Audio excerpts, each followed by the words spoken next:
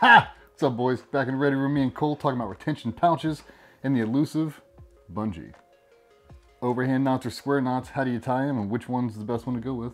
Kind of in-user preference. Yeah, uh, I've seen people do different stuff. Um, square and um, girth hitch. Square knot for me, it secures it and doesn't have the knot on the bungee move around. So Yeah. that's definitely a favorite of mine. What we're talking about is for girth hitch, we kind of just roll the whole thing over. Center down, you can slide this thing back and forth, or the square knot. We learned it So right over left, left over right, or in the opposite. And if you're terrible at tying knots and you tie lots, this is what it'll look like. So you can push and adjust as well. Yeah, a few key points here, man. Just, just the way we do things. I'm kind of a stickler for melting the ends of these before I even get started. So like if I've got a little bit of a, a fray right there, I hit mine with a lighter just to start off. Just because it'll come apart as you're Yeah, you still passing weave it through. Yeah. I like a little Allen wrench, some kind of little key feature to, to slide through here just to open it up. Just however you guys want to, and we just we just feed it through. What about you there, Kimosabi? I mean, you can use flatheads, um, a smaller pair of needle nose, which is a little bit bigger. Um, Don't use a don't use a, a knife. Cole's gonna be over here with with Leatherman tool stabbing himself. Not that we've done that a million times. You're not putting gear together until you've cut yourself. Yeah. But yeah, I mean, even something like this, that'll get it through. so a couple things that we had definitely messed up, and hopefully save you guys from doing that, is sizing the mag for the one you're going to carry, giving yourself a little bit of flexibility. So if you imagine I want this thing super tight and I stretch it at max capacity and then I bury it. When I actually go to remove this thing, it's gonna be so tight it's not gonna come off free. And then if we run a scenario like Cole used to run 20 round mags, now because this mag is shorter, it's not gonna have the same bungee retention. So Right, too much play, you're wearing out the bungee too, Yeah. and it's terrible actually to put in your gear. Yeah. So not, not much fun for a reholster of a mag. yeah, So make sure you give yourself a little bit of modularity. Same thing with pistol. I mean, we'll get into that thing, but if you're constantly running 19 mags yeah. and you size them for something else, And people probably ask if there's a in between. I think there, there's the mag extenders, and then there's kind of the factory um, mag, even if it's a 17, 19, 43, 365, Yeah. any of that. and what I will say is, is the stock retention on these with no bungee over the top is great. I've never had a mag fall out of it. We've done cartwheels. We got Nope. real dynamic.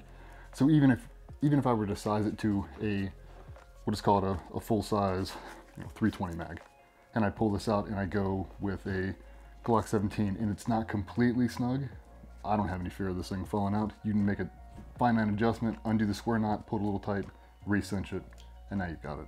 And It's not too, like you have even if it's it. a little loose, I mean, if this starts to slide out, usually that, that always catches. Yeah, for sure. It's not a big deal. Um, talk about one putting the bungee through there. Um, you can try and get it through. Maybe if you're lucky, you will. But most likely you'll have some issues.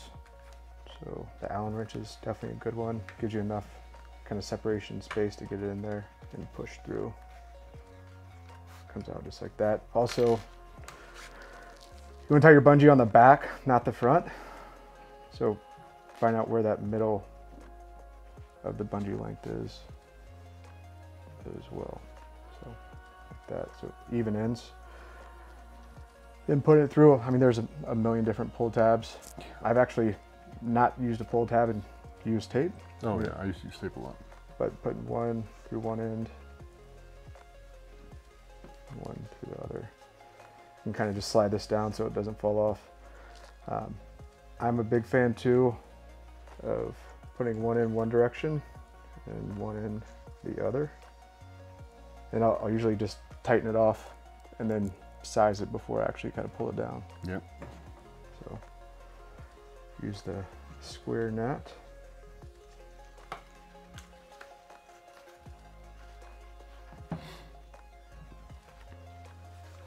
So if I just wrap mine over it and I just go overhand, it gives me enough play to where when it's in my belt, it still holds it secure, but you can see how much play I have in this still. Like to me, that's about perfect. If I can get two fingers in, it gives me enough so where guys will have a little magazine extension, they'll have a little hook. Magpul made those little finger clips. It'll give you enough room to have that, but still if you want to drop down, it's still tight enough to where it'll hold retention like a 20 round mag. I tend to trim these things off, and if I compress this thing enough, I can slide this knot through this actual pass through. It cleans it up a little bit. Yeah. So have this square knot tied. It's not super tight, um, but basically before I, I pull it all down, I'll do a quick test fit. So everyone likes their bungee retention a little different, um, but this feels pretty good. And while it's in, I can just kind of pull this down. So it's, it's set right here. If you did the overhand the way I did it, you can just tuck it through the backside. I typically, if I'm gonna run this configuration, like for me, 556 is kind of the call. That's what we're gonna be shooting for a long time. We take a piece of this 100 mile an hour tape. This stuff is really good, and we shred it right down the center. Pull this thing off, pull your pouch out, and then you can wrap up the excess and stow it. It'll just lock it in place, so that way, sweaty, we're always in salt water. To me, like this thing turns into kind of a mess, but in a good way. It really, really locks it in. This adhesive turns into like a really thick, really thick glue, and that thing will never slip, dude. In, in my opinion, I've never had it really come off. But know that you sized it right, like Cole's talking about. Make sure it's exact where you want to, because if not, you're gonna sit here with your fingernails trying to peel this thing off in, you know, 10 minutes. For me, I just wrap it up. That's a little more rigidity too. Yeah. I mean, one way keep the ex- excess. Another way you can cut the excess either with a knife or a hot knife. Got So that. I pulled, it- pulled this tight, ounces equal pounds. So cut all the excess off like that. I take some tape because over time the steam may come loose. Taping both ends down, kind of like that. Yep. Then I'll hit it with a, a lighter. It just helps melt some of the glue and the tape. And basically pull it like this. Yep. So Same kind of thing, just two different ways. But yeah, it's really just taking the time, make sure it's right for you, make sure you have enough retention. It's gonna come off free, whether you're, you're one of those guys who pulls back to defeat the actual bungee retention, or you got that full pulls forward. Just make sure you have enough for it. Make sure it's kind of universal in your own little method. yeah. But yeah, I mean, like, I've got pouches we've been around since 2005 that still have the tape on. They have never come off. No. Yeah. And But yeah. Tape makes some some really good stuff too. I mean, plus and minus to both, but I want to go over these because it happens all the time with new gear fitting it correctly because we've tightened these incorrectly before and we've stabbed our, the shit out of our hands. Don't use this and try and get the bungee through because you either cut the fabric or yourself. Yeah, like dude, all these, all these are all scars from essentially that. Stabbing yourself, like God, I knew it was about to happen. So don't do that. But here's what we were talking about, fellas. Like if you size this bungee for, you know, a, a 320 mag, I pull this bungee super tight. By the time I drop it over here, it's gonna be loose. It's not really gonna help. So you can split that thing and kind of have a hybrid where it's a little bit loose on this, it's snug on this, and you can still make it. But understand, like if I run to a 2011 and I gird this thing down and I can't, I can barely get it off, it's really gonna stretch at that bungee premature. So just pay attention what you're putting on. I mean, even some of these other bigger mags, different heights.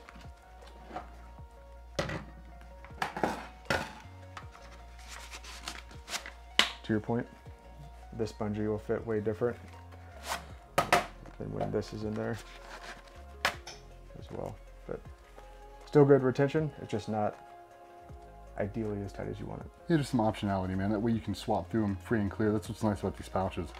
Is we can go to the range, we got to shoot, you know, Glock 17s with one group, and 10 minutes later we're shooting where we want to. We're swapping to 320s, or staccato, and like we just swap out mags.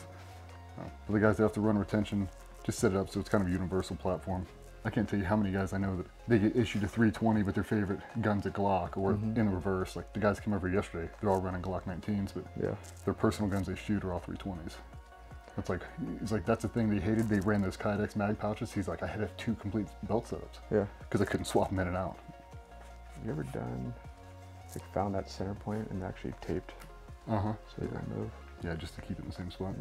So you ran them through opposite. Yeah? Yeah. You going like that? Yep. And then just bring them to the bottom? You can do it the opposite way too, personal preference. whether it's this way or Mm-hmm. these are facing up. It's also, I mean, I taped up this knot. It gives it a clean look too. It's stuck in there, but keeps everything center. And we were just talking about it. Um, you can get as crazy with this as you want, but finding this like middle point. Yeah. If you don't like this thing having any chance of sliding around, tape this side, tape that side. So Facing the camera. won't slide it around.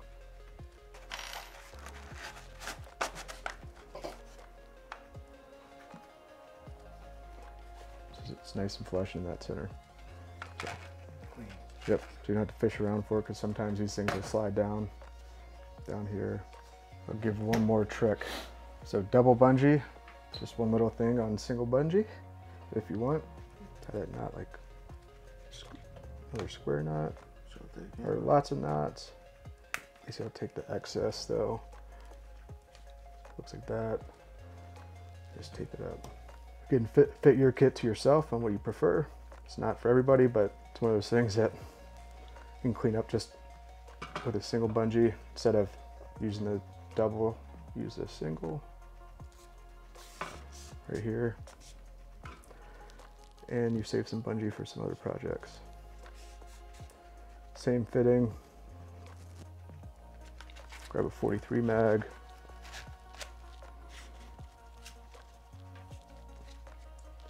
Basically tighten it, tighten it down and do the same thing. Some of these bigger ones. And some of the powders we had back in the day, they were single bungee retention. Yeah. But just some options for you. You can kind of like measure twice, cut once. So kind of get that first knot down. Check it again real quick that you have the, the tension that you want. If not, take it off, just a little bit, pull it tight. Cut some of the excess.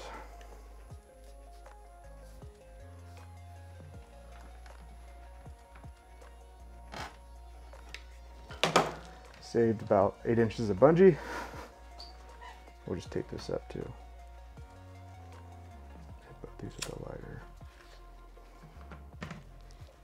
Not too long things catch on fire, but just enough so it melts the tape and holds that.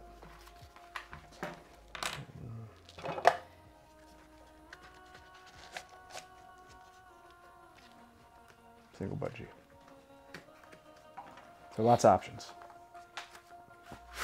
Options, options. Fellas, it's, uh, it's of retentions. You know, I think more of it is just not rushing through your stuff, not not making a single side usage, and having some custom uh, some customability to it, having Yeah. some optionality. Not cutting stuff too short, too long. Been there. Un- understanding the kit and the gear and retention. Yeah, constantly be redefine your own process, and yeah, I mean, be creative with it. That's why we're that's why we're doing it, so you guys can make it whatever system you have, make it just a little bit better, a little more personal for you. So, yeah, man, have fun with it. Be creative and let us know what stab you're doing. yourself. Yeah, don't stab yourself. Lighter and scissors at a bare minimum. Yep. And an Allen wrench or something to help with pass through. Cool. Hmm. Fellas, we appreciate it. Hope you guys enjoy the pouches and let us know what you guys think in the comments. Thanks. Talk soon.